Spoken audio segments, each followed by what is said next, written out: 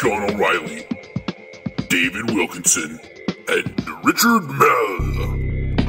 This is There is No Deodorant in Outer Space.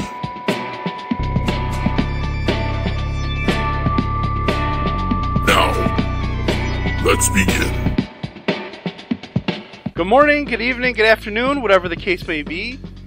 This is There is No Deodorant in Outer Space. Welcome back to our podcast, or welcome if you haven't heard us before. With me tonight is David Wilkinson. Hello. Dave, how you doing? I'm good. I'm good. I'm uh, Okay. I'm in the middle of moving. I had to but go on. Yeah. Hey. Okay. Moving is always fun. Uh, also joining us again is Richard Mehl. Rick, say hello. Good evening, everybody. Good evening. It's great to be back again. and it's great to have you. Uh, you also notice uh, we are actually absent one.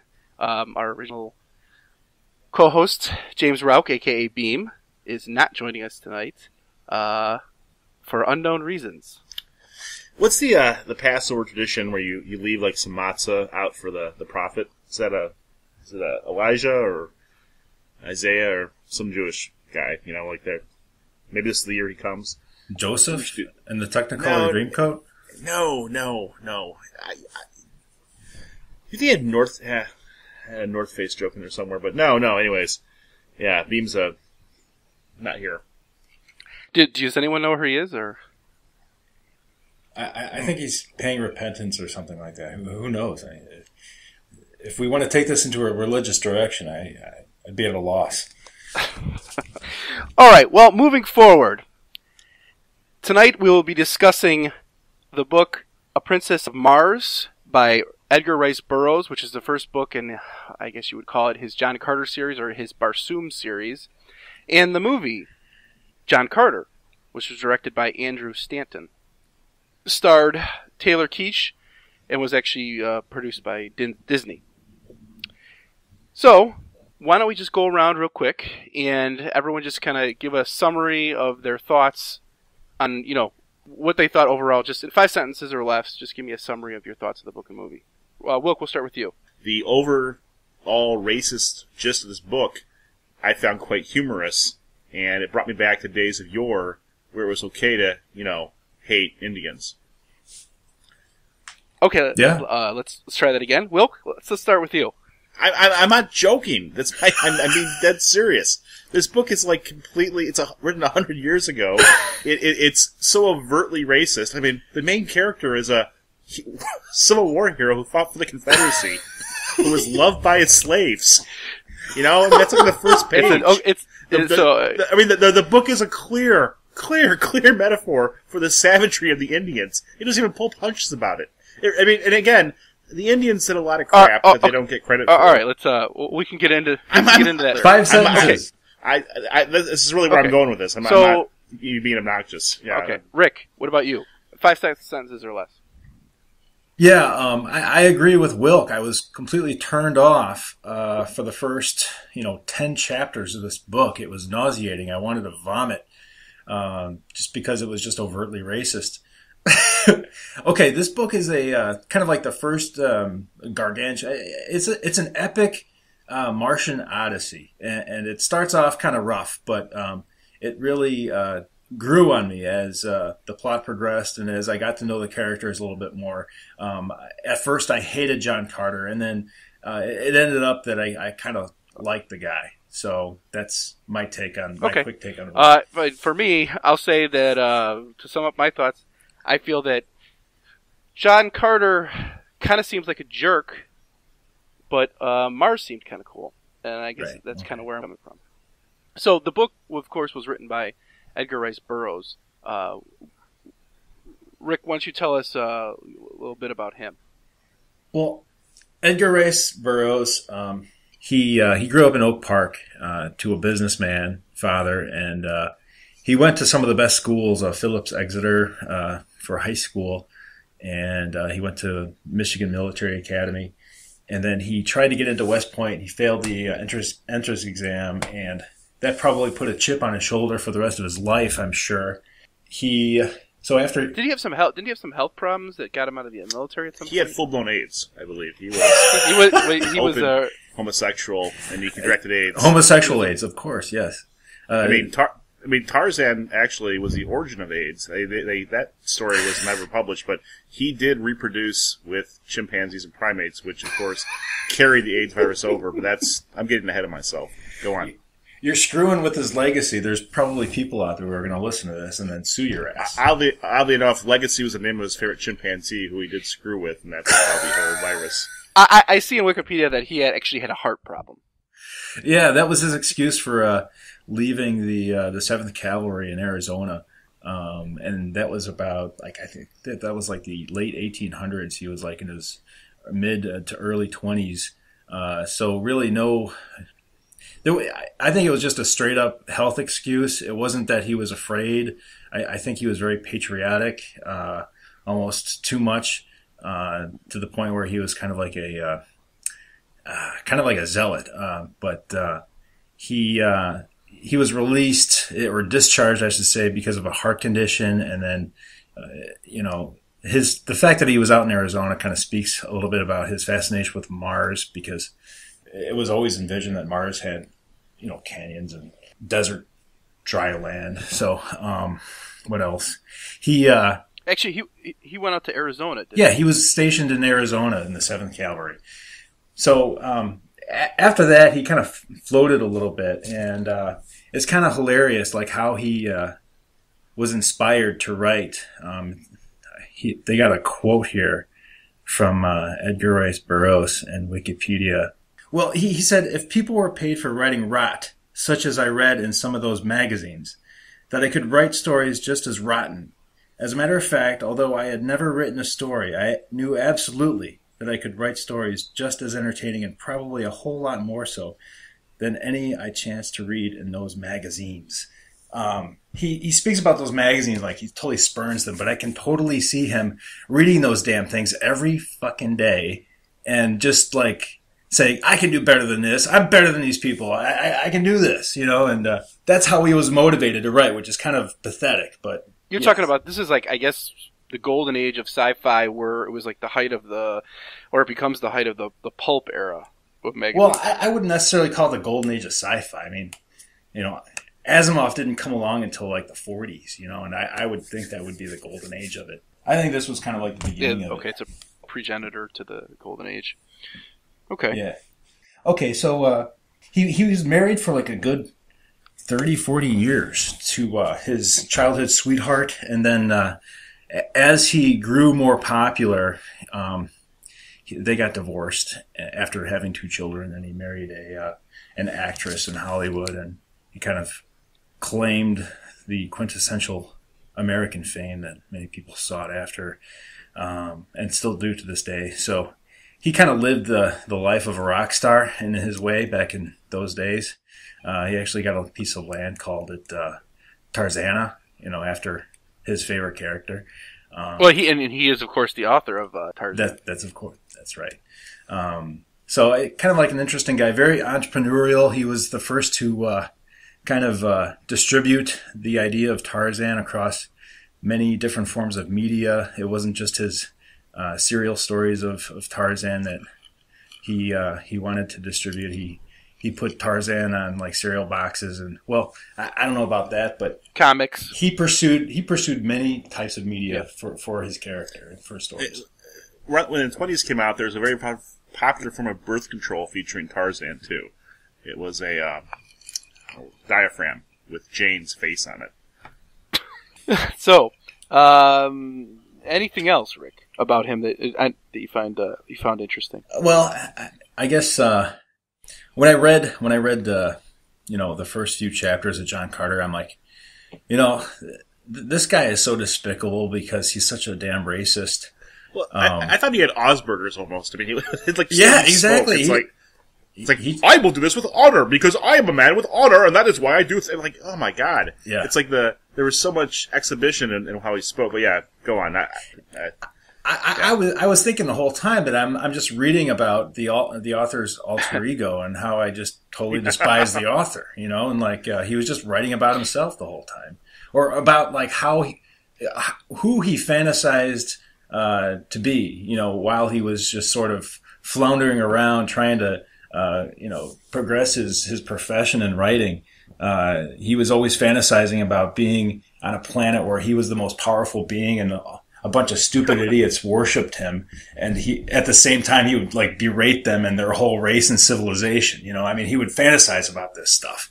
And it kind of turned me off for the first 15 chapters or so. You know, but then the story really progressed i he, thought he did he did actually uh, put himself in the story. There's an actual frame story in this book where Edgar Rice Burroughs is the is the nephew or, of the main character, which is interesting. The, the other thing that I noticed, which um, doesn't relate to that, but when he first published this, he was still wanted to be um, a, a businessman, and actually not a writer. And so he was worried that his business clients wouldn't take him seriously, so he published this under the name. It was supposed to be Normal Bean, so people would realize that he wasn't crazy. But then some typesetter misspelled it and made it Norman Bean um, when it came out. And he, that's kind of an indication of insanity to me you know if you uh, if you want to like just make sure that everyone if you if your pseudonym is normal it just it, that just doesn't really click I, I don't know there's something crazy and about this also I think originally came out in magazines. He, I think he wrote uh, about half the length of what it, it ended up being, and he submitted it to All Story magazine, and then um, they asked him to expand it to a full length novel. And then they serialized it, which I think a lot of stories back then were serialized in the magazines. And then it was later released altogether as a novel. And some Yeah, well, the yeah the, the publishing date's 1917, I think, right? Yeah. And then it references that it was first published in 1912. So this, that's probably in the magazine. right, right. So you got that. I, I, I didn't really hate the character ever, though. I, I, I just started reading this. I just started cracking up, thinking, okay, well, this is a this is a different time. This book's being written in, and I kind of I kind of just went with it and liked the story. Yeah, it's a, it's a completely different time. But uh, do you guys have anything else to say about Burroughs, or do you want to get into the book? Let's get into the story. I, I- I'm done with bros. Yeah. Yeah. Okay, all right. Then uh, to set up the book, Rick, why don't you just give a quick, you know, synopsis of the story. A synopsis. and then let's get into okay. it. Yeah. Oh, okay. Well, I just finished the book like 20 minutes ago. Um, it, It should be it should be fresh in your mind. yeah. Well, it starts off uh, him getting out of uh, well, it's his memoir, so it's being read by his uh, his nephew.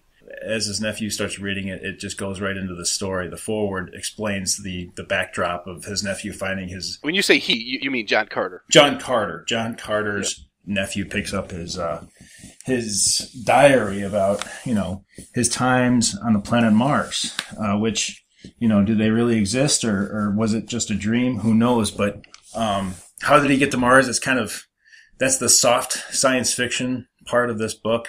No one really knows. It's just kind of magic, I guess. But uh, he starts out just out of the Civil War and prospecting for gold with uh, one of his comrades in the uh, Confederate Army, and they're in Arizona, and they come across a uh, a vein of of gold in uh, a quartz medium, I suppose. They they're planning how they're going to extract the vein, and his his buddy Captain Powell he goes off to find some mining machinery to bring back to the site, and uh, he's he's jumped by a band of uh, Apache Indians who are just you know despicable in every way. And uh, he finds he finds Captain Powell dead in, a, in an encampment, which he storms like an idiot with his guns blazing and on his horse. It, it kind of sets up Uh, his personality for the rest of the book. Right, exactly. It just kind of sets the whole precedent and how kind of audacious this guy is. And I mean, I guess it works because he he goes in with such confidence, it just scares the hell out of everybody because they think he's just kind of like the the lead rider of a, a battalion of cavalry. But you know, it's just him. And again, hey, real quick though, Yeah. I'm, I'm going to go on a tangent here throughout this thing, but I thought there's a lot of references in this book that were incorporated by things that are more contemporary. Like that thing right there, it reminded me of that classic scene in Star Wars where Han Solo does the same thing in the Death Star. He goes running, you know, madly after the stormtroopers. They all run away. And, I- and I, as I kept reading this, my dad's generation, they loved this guy. When they were like 10, 12, 15 years old, they were reading these books left and right, these serial novels. And I think it really shows in some of the things like Philip K. Dick, who we discussed before. He's incorporated a lot of the things in here directly in some of his stories. But like, there's a lot of things throughout this book that I didn't, that have, that I thought were original ideas from the 70s and 80s that clearly aren't. And Right, I don't know, and- that little scene right there I thought was kind of reminiscent of a very classic scene Yeah. in, uh, in Star Wars. Right. Okay. So uh, he picks up the body of uh, Captain Powell, brings it to a cave where he falls under some sort of mystical sort of slumber, and he's petrified. He thinks he's awake, but he can't move, and he all of a sudden he finds himself on Mars.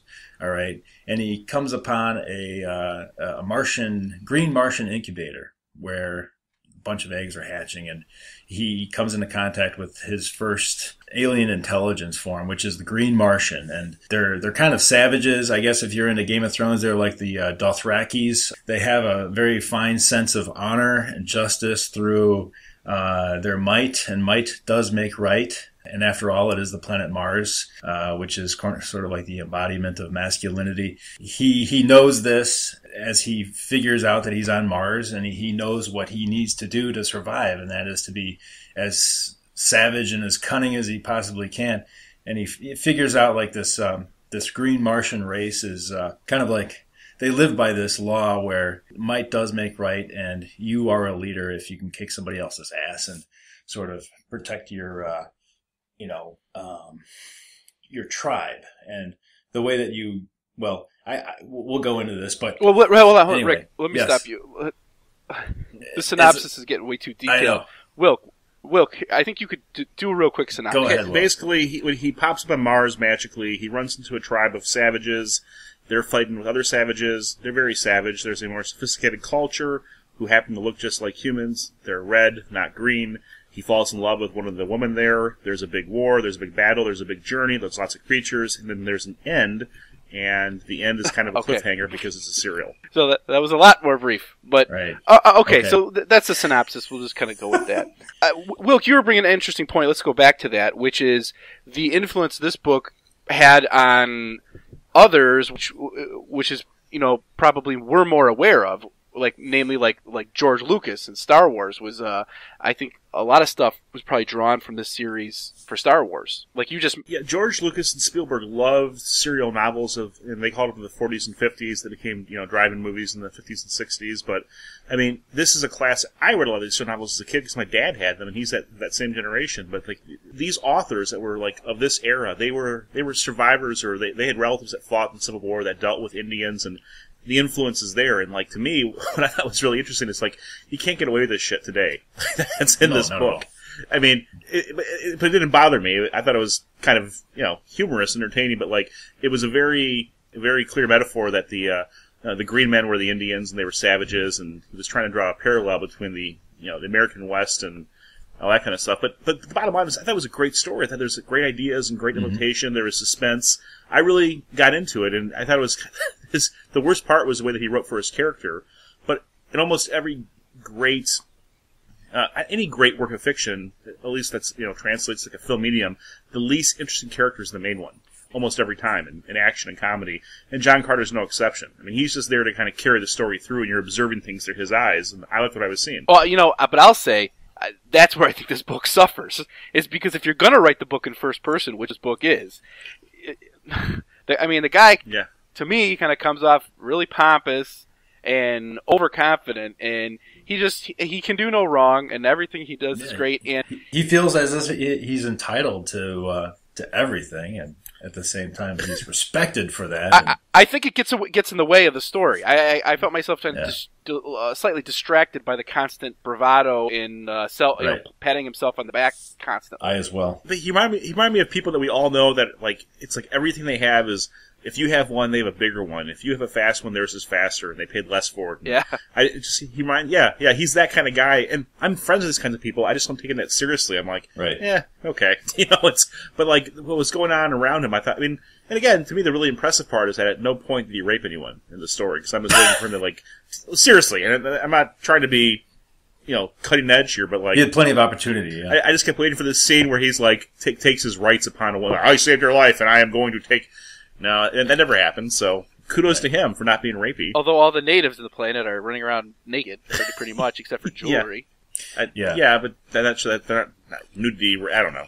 It's not really So rapey. did you- now, Yeah. uh, it's also the writing style is, you know, sort of dated, uh, and there's occasional archaic, archaic words in there and archaic spellings. That didn't really bother me overall. I did feel like the style of the writing is a lot of telling versus showing. Burroughs speed through speeds through you know wars and, and action, and in unlike modern writers, he doesn't show a lot. That's fine though. I think action's hard to write. I think I think he does set the scene though. He he he does describe the Martian terrain fairly well. Uh, he describes settings. Uh, maybe not maybe not the cities so well, but like the landscapes and you know. He yeah, he has a description up, but I'm talking about um, when the action happens. A lot of times you're just being told what happens, and you're not really in the action. Like a modern writer Yeah. like Stephen King would make you feel the ba- you know the Yeah. fighting and stuff. I think I think some of uh, uh, Edgar's finest descriptions with the fighting was when uh, the two uh, Green Martians were attacking each other with with their hands. They didn't have any weapons, and uh, that was kind of like his best as far as uh, describing the uh, the fighting action. Yeah. and it wasn't a scene where John Carter was actively doing something. No, John Carter was an observer there, and he was yeah, exactly. I think another common trope in this story is that uh, Burroughs tries to make the Martian, the Green Martians, like well, at least Tars Tarkus, who is like I guess the good Martian or one of the good Martians, sort of like a noble savage, which is something he does in Tarzan. he's the he's the house Indian. He has a cabin. His name's Tom. well, he kind of does this with, with with Tarzan, where it's like uh, this Tars Tarkus is a savage, but he has he's a good heart and he's able to overcome his sad, savagery. And I think a lot of modern readers don't like that. Yeah. Years later, there's probably like rice or creamed wheat with his picture on it. I Mm-hmm. mean, he's he's the good Martian that we all love. Yeah, that's sort of the He's the House Martian. Yeah, House Martian. uh, unfortunate, you know, uh, racism and kind of in the writing. Eh, yeah. I mean, they did a lot of. It really gets kind of whitewashed in history, but like, they they they, uh, they kill a lot of people. Well, Indians kill a lot of people. Yeah, they didn't really never invented the wheel. I mean, again, uh, I think a lot of people would take issue with what you're saying here, and Yeah. but I, I will say, uh, Edgar Rice Burroughs, he did have experience with with Indians. well, yeah. I'm just saying, like, we're, we're very soft now. We we killed a lot of Indians too. I mean, obviously, Yeah, we- but I mean, We took everything they ever had. yeah, we gave them some stuff back. I mean, the thing is, Yeah. yeah, yeah, we gave them uh, crappy land and took their took the prime land. right. Which was now they have casinos, so it's it's it's But that's not the end all be all. They lost their soul in the process. They lost their culture. It was pretty much genocide, Wilk. Yeah, you're basically saying racist stuff. Right, and genocide happens, but at the same time, some people that you genocide, they don't fight back, others do. The Indians did a lot of their own, you know. These comments are awful. Why are they awful? No, It's they, extremely racist. Indians are It's ter- extremely racist. It's not racist. How is it? Ra- that is soft. This is not racist. The Indians did terrible, terrible things to people on a regular basis. and terrible things were done to the Indians. That's right. right. So, do two wrongs make a right? Well, you know, I, I don't know who did it. Who did it first? You know, maybe that's that's where we have to. No. well, we don't you know, have to talk and about this. and look at how Bur- the Burroughs cycle when of violence, he though. John Carter into Mars, he really is sort of emulating the white man coming into, uh, you know, uh, the, Amer- the, the American land, Indian yeah. territory because he comes in Right. guns a blazing and just starting to tell people how it is. I mean, he, liter- he literally Right. engages with the aliens who are sort of impressed with him at first, but he just starts kicking butt and you know trying to get himself in charge. And he's even though they're actually kind of nice to him, he as soon as he meets a, a, a, someone who looks like him, he immediately identifies with them and is like and turns his back on the aliens to help them. And to be fair, the people that look like him, Uh, he doesn't turn his back on them. yeah, well, that too. But like the people that look like him are also a lot smarter, a lot more sophisticated. They have science and culture. They there's a whole chapter to just mocking the Green Men and their their Yeah. shallow ways Yeah. and their sense of community. And I mean, again, it's, it's this contradictory. It's it's all kind of propaganda. It's program language. I mean, th- th- this is what he was taught to think about the Indians since he Burroughs? was born. Uh, so Correct, yeah. he's brainwashed himself when he talks about the Martians. But then again, he gives everyone good nuggets about how the Martians are the most just people. Uh, you know, they they have a pretty respectable system going, even though he doesn't agree with it. Um, I mean, he does talk about some of the positives coming out He of does. their culture. I, I, I'm just thinking, like, right now, when we grew up, we were taught to look at the Native Americans or Indians in a different perspective than when he brought up. When when he, I mean, he was, and, that, and, that, and that's the difference. I mean, clearly, I mean, there. If you look at the aggregate of history, horrible things happen to the Native Americans when settlers got here. Horrible things. You can't can't argue that. But over the course of history, especially along the southern border, like Arizona, Texas, uh, there was repercussions that were felt by a lot of innocent Yeah. white people, Yeah. settlers. Women, children were just slaughtered by the Apaches, and, and that's reflected in literature. And so this guy is coming from that angle, where eh, very similar. to- And he was there. He was there, right? He, Right. Didn't he personally have dealings with the Apaches? He did. I'm sure he did. Yeah, and the thing is, I mean, look at the um, Middle East or the Israeli-Palestine conflict. And again, I'm not going to say obnoxious here, but you, you can't tell anyone on either side of that fence there right now that they're right or that they're right and their side's wrong because they've all had people killed on both sides. It doesn't really matter who started it. So it's just kind of interesting at the point this book is written in history.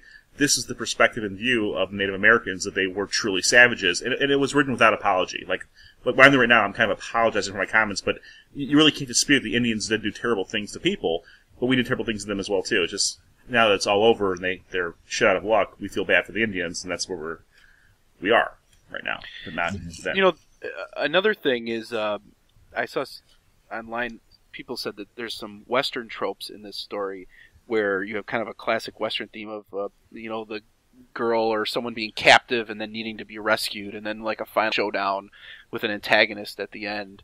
And I, I don't know.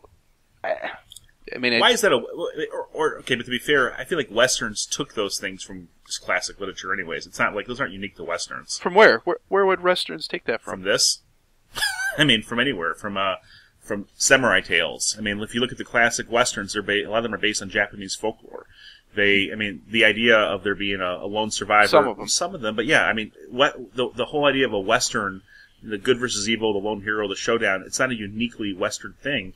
It's just a story told through a particular context and I history. mean, I, I can see. Oh, I think it's just it's a, it's not maybe it's not unique to Western, but it's a common trope of Western plots and stories. No, but I mean, I get this is kind of a western in the sense from where the author was coming from, the cowboy Indian theme. It does fit into a western in that sense, where he's exploring new territory, it's unsettled land. That to me is a western. You know, where it's it's new territory. Yeah, well, it's also uh, it's also I guess you'd call it a travelogue plot, where the plot is actually kind of like we have to get from point A to, to point B, and it's kind of like how to you know how we get there, which is uh, the Lord of the Rings has the similar kind of plot structure. Yeah, I, I, I wouldn't say it's like the typical Western though, because uh, um, he becomes one of the one of the native Martians. You know, he he finds his his place among them, uh, where where he he becomes almost uh, content with his place.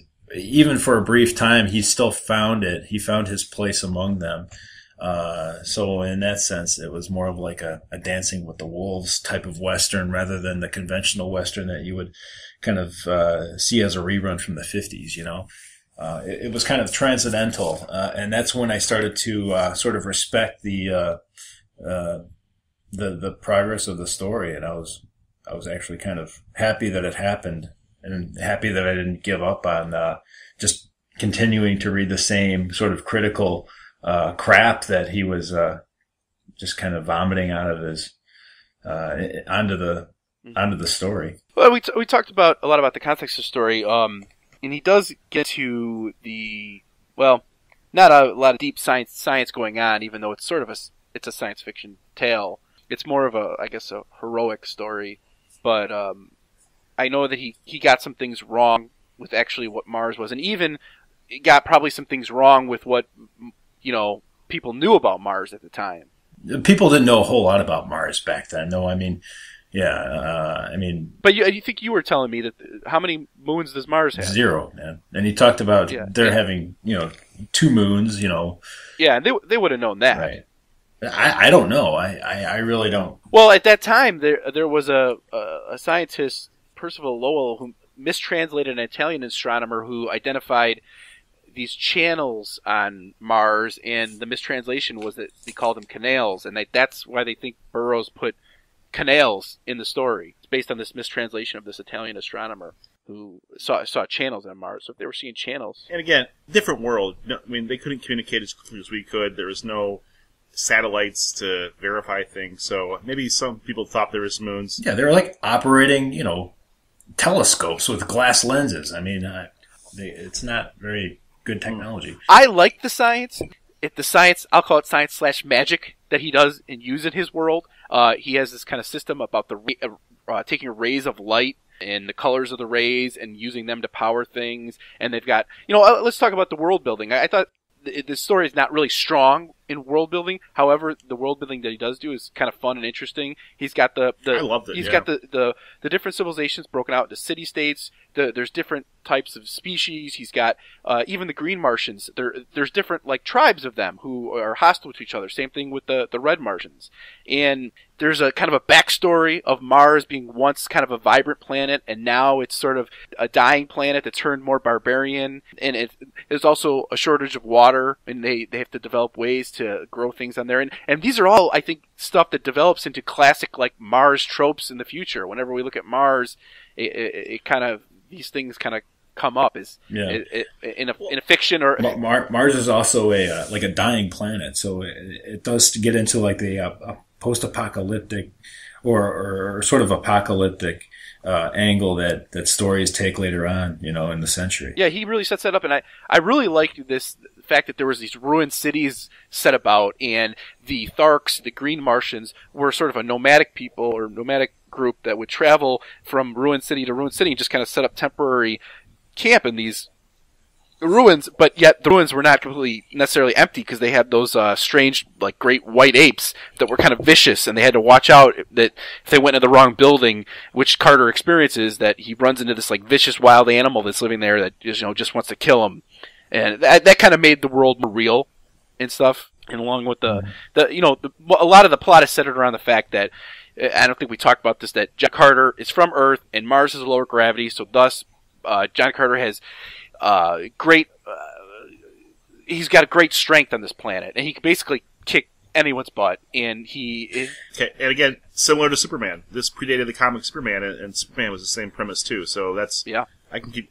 Plus, okay, uh, I, I loved in this book they had an atmosphere factory, yeah, just like Philip K. Dick came up with Total Recall, which I thought to my to this day, Total Recall is one of my favorite books and movies. It, I thought it was just mind blowing science fiction, and I realized I thought it was a very original idea. I saw it when I was ten or eleven, and I'm like, oh, apparently this this asshole came up with it in 1917, so I guess I'm an asshole too.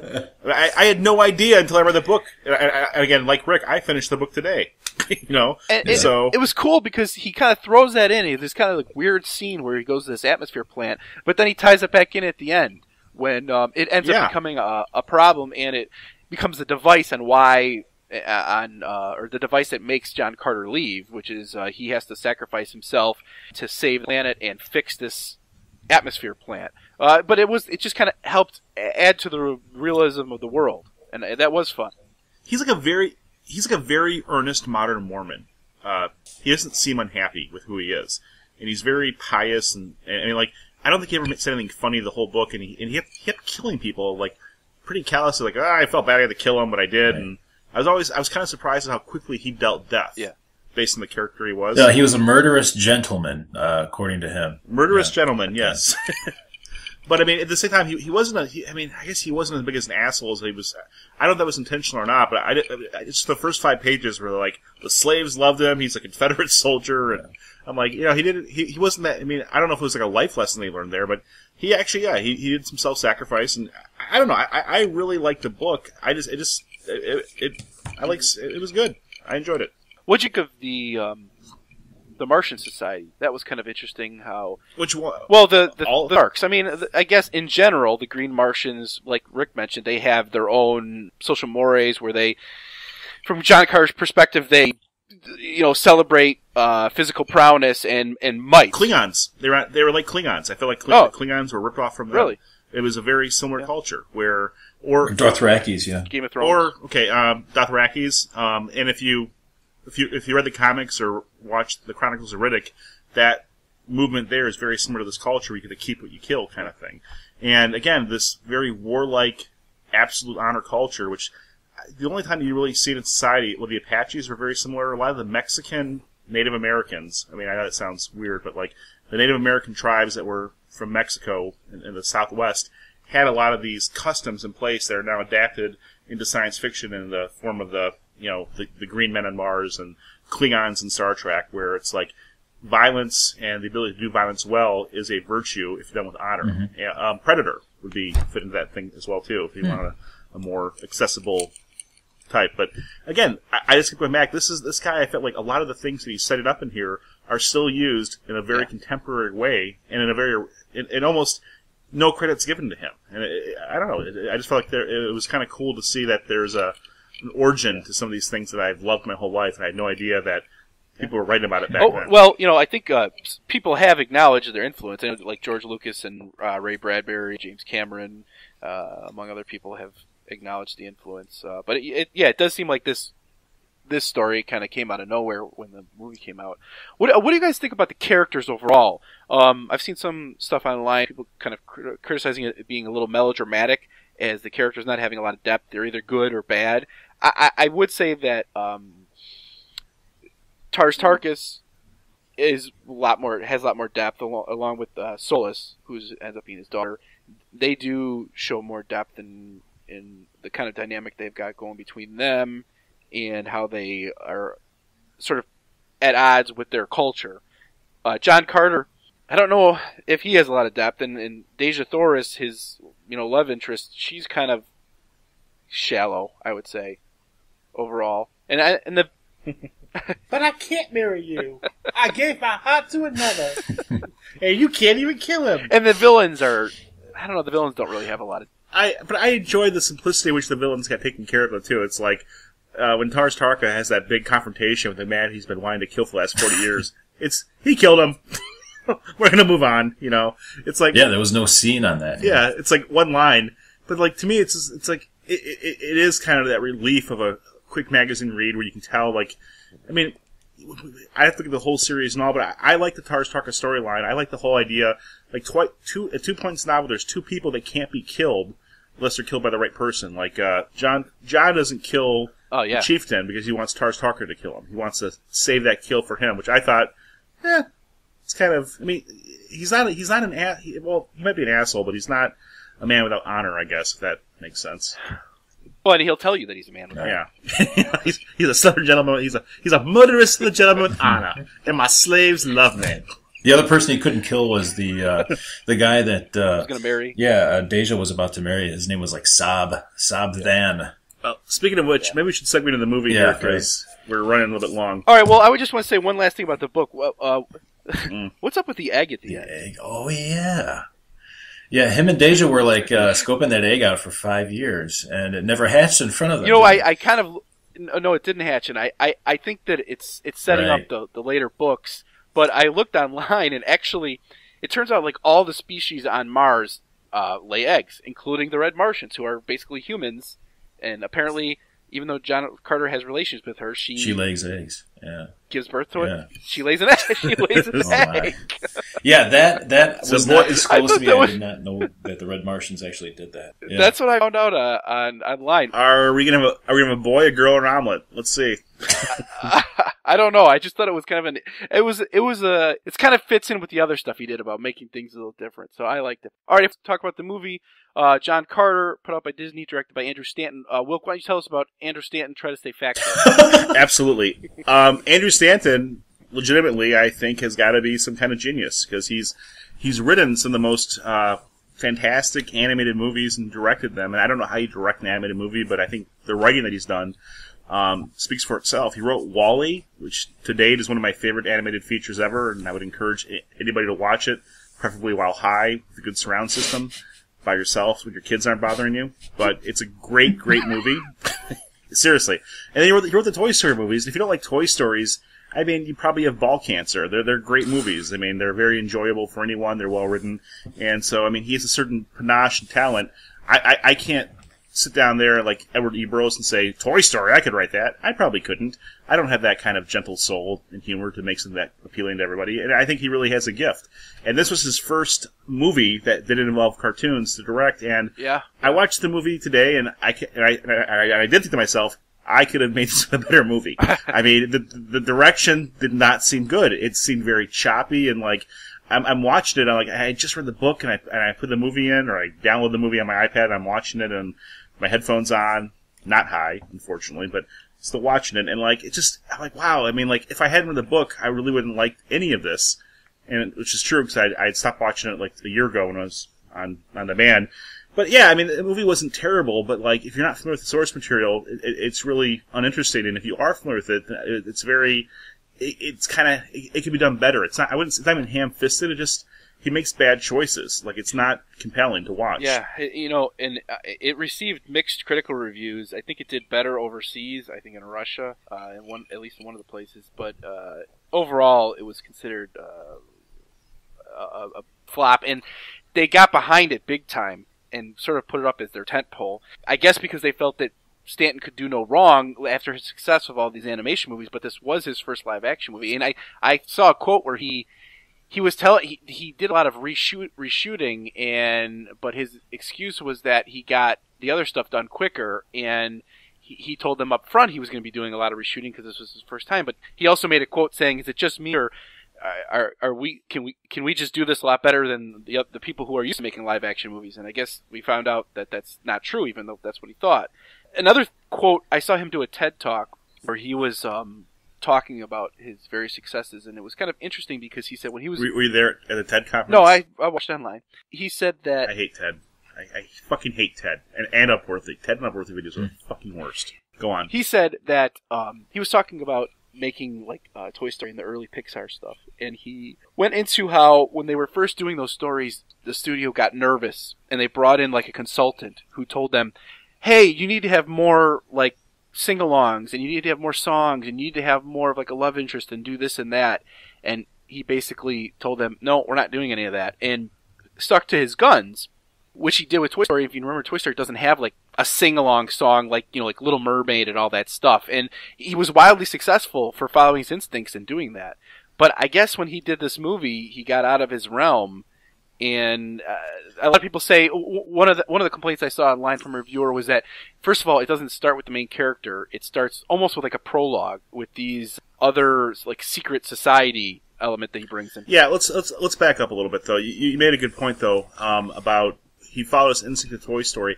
He wrote Toy Story. That was his whole thing. He had a, a singularity of vision, writer and director. Here, he had he, the source material was not his, and I, and I think you can give somebody a little latitude when it's their baby, for, for for lack of a better word. Toy Story was a very well written piece. I think it holds up. I, I mean, I was a kid when that came out, or a teenager, or whatever, but I still enjoy it watching my kids today. And they'll probably watch it with their fucking kids at some point if society doesn't collapse in the next twenty goddamn years. Hear, hear. But I mean, No, but he. No, Yeah. I, I will say that I, from what I understand, Stanton was a huge fan of these books, and he really lobbied for Disney to get back the rights because they had the rights at one time and it never got made.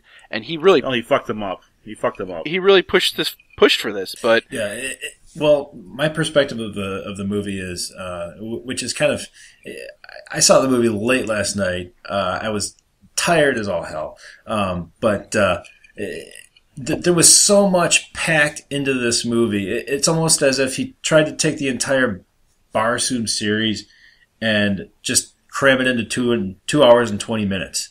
And Yeah, thank you. There was enough in the book. He like was bringing in shit that was nowhere in the in Right. the book. Yeah. and it was confusing to me. yeah, the Therns. Basically, the the movie starts with this like secret society that's kind of like uh, Jews. They're Jews. Space Jews.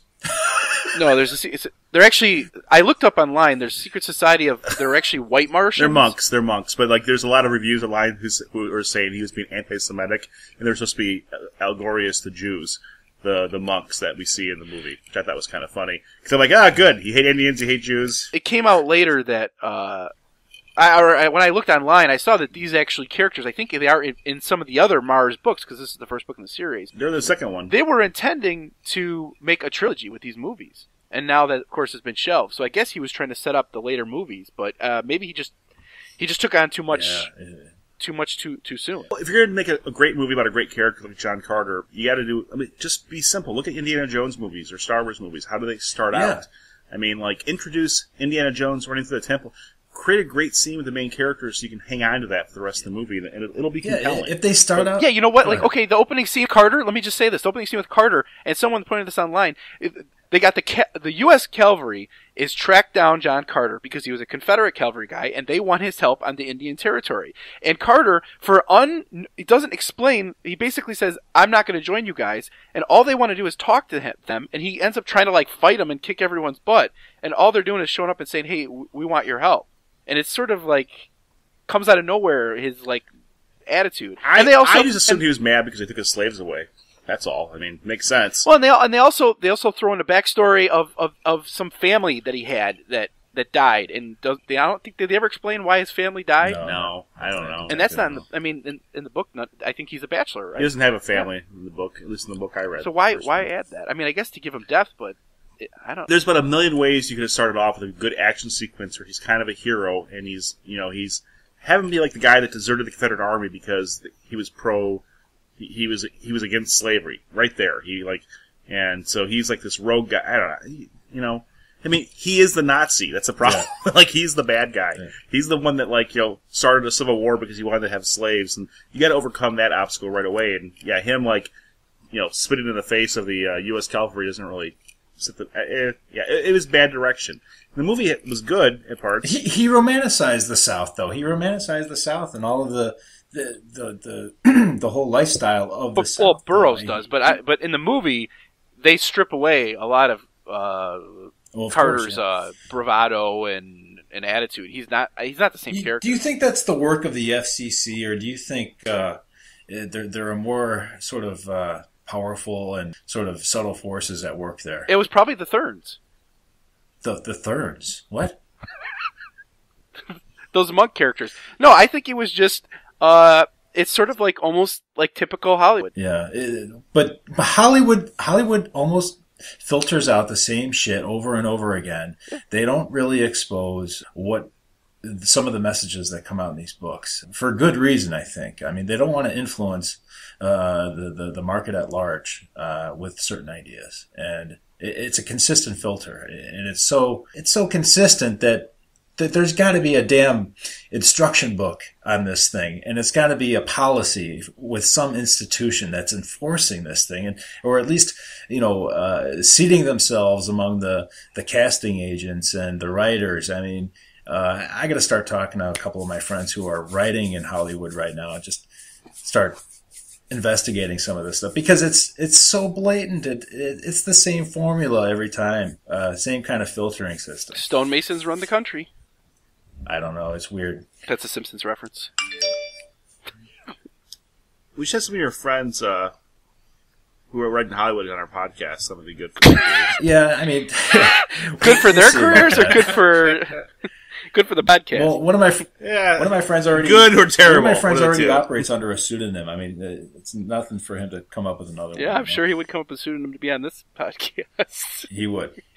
I would recommend it. Now, and also another difference in this movie from the book is that uh, John Carter wants to get back to Earth. Like that's kind of the plot that is dri- is driving him. Although That's where all the good pussy is, Ryan. That's where all the good pussy is. Mars pussy, they're laying eggs and shit. None of that bullshit on Earth. and, and that's another Right. change from the book. In the book, that he doesn't care about getting back. He's in love. He's in love in the book. Look, I'm getting hammered here. I need to go to bed.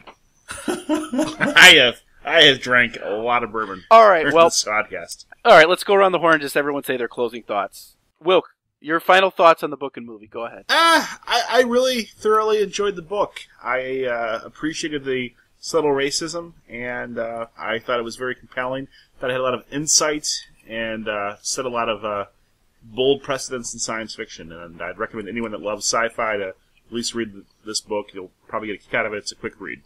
The movie, it's not terrible, but it, it's it, it could be better. Okay, Rick. Um, I you know I, I, I thought that the movie could have been good. I, I wasn't wide awake and I didn't see enough of it. There was a lot of detail in the movie. I, I might want to rewatch that movie, barring all of the, uh, the the filters that it put on uh, from the original story. But the, the, the original story was hard to uh, kind of uh, grasp a hold of just because it was so damn annoying with his self aggrandizations about you know his abilities and everything that he can do on on the uh, the lesser gravity. And he just sort of attributed everything to his own cunning which was annoying as hell. But uh, it, the, the book grew on me as the, the story progressed. And I actually had some liking for the main character when it was all finished. He was very self-sacrificing and he fought for love. And he actually joined the different races of Mars which was which was nice I guess that's true. I'll say uh, he. I guess John Carter does do some things. I said he's kind of a jerk. I, I still think he's kind of a jerk. Um, he does. he, he's a jerk, but he does some good things. I say the book is it is free. First of all, it's in the public domain. We should mention that you can literally get this book for free for uh, in an ebook format. So definitely worth checking out. And I think if you just submit yourself to the fact that it's older literature written kind of in a different style in a different era, it's it's worth checking out to see where a lot of the stuff we love today has come from. And and, and Oh, fun fact: it's actually written by the owner of the L.A. Clippers. too topical. And I'll say the movie, I I see faults with it. I didn't hate it. I actually have seen it twice now. Um, I did fall asleep during it. Um, I can see where it got mixed reviews. I it, there's a lot of it's fun. I mean, they, they put a lot of effort into it, and I enjoy it for that fact. I, I kind of wish Right? Yeah, it's not bad. I, I kind of wish they were gonna make more, but I do see why it's not a great movie. It does have problems in. That's basically it. So that wraps it up.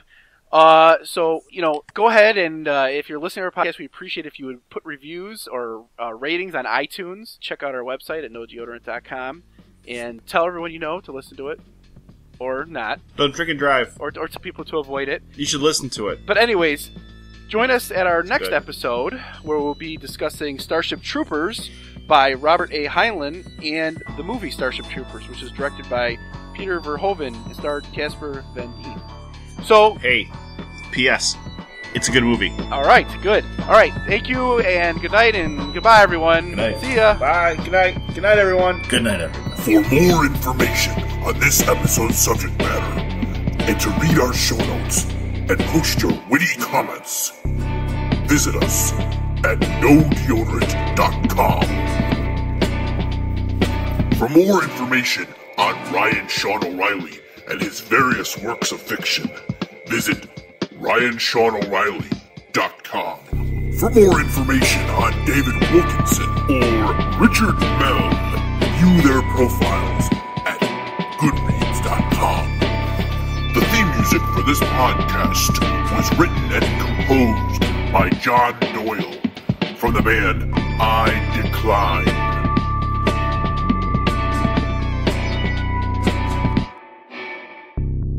Thank you for listening to our podcast. We hope you've learned a lot. Oh, and always remember one thing. There is no deodorant in outer space.